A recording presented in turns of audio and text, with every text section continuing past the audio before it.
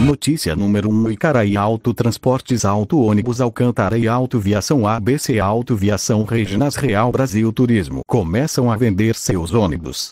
Auto Ônibus Alcântara Autoviação ABC Autoviação Reginas Real Brasil Turismo Icaraí Autotransportes Eu vou falar de novo será que vai vir renovação de frota por aí comentem aí por favor.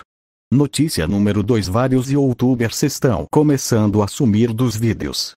Léo Bus RJRJ Bus ônibus do Rio de Janeiro e Busão Potiguarem entre outros youtubers estão começando a sumir dos vídeos porque me expliques depois aí porque. Notícia número 4 Novo lançamento da Caio Comil.